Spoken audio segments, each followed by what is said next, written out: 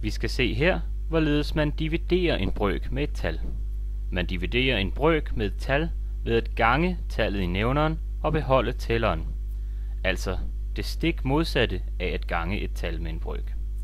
Vi har altså brøken b over c, som vi så dividerer med a. Vi skal altså her gange a i nævneren og beholde tælleren. Lad os kigge på et taleksempel. Vi har brøken 2 over 3, som vi dividerer med 4. Ifølge vores regel skal vi gange 4 i nævneren og beholde tælleren. Gør vi det, får vi altså en tæller på 2 og en nævner på 3 gange 4, som er det samme som 2 over 12. Og det kan vi yderligere forkorte ned til 1 over 6.